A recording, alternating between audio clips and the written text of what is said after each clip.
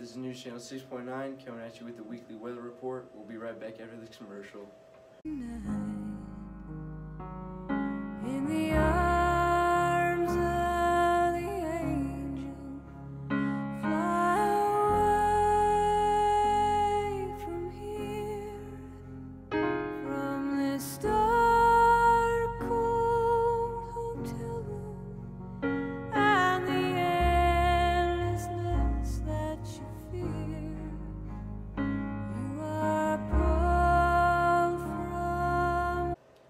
Got a cold front moving in from the northwest, pushing out the warm front, bringing cloudy skies and light rain.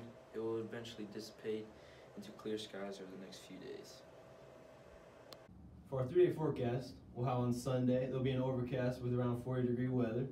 Then on Monday, there's going to be some drizzle for 38 degree weather around there. And then on Tuesday, should be ending up with some clear skies around 40 43 degree weather. Thank you. Right, today's weather on Sunday it's going to be 40 degrees. We're going to start with a slight overcast, so bring pack a jacket and a nice day to go shopping. Signing off, this is News Center 6.9.